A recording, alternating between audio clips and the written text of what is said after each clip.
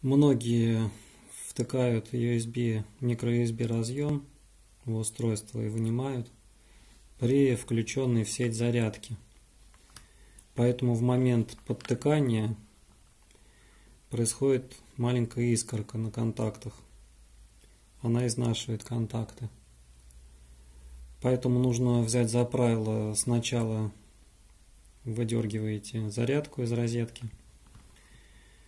Ваше устройство, все, что накопилось в зарядке, высосет всю электроэнергию. И вы его в разъем вы уже вынете без искорки. И также подключать сначала, так как устройство уже сожрало все, что в зарядке накопилось. На его контактах напряжения нет. И когда вы подключаете, то никакой искорки не происходит. Воткнули безыскровым методом, так сказать. А потом уже втыкаете зарядку в сеть. И пошли ваши 2 ампера через хорошо перекрытые контакты. Всем пока.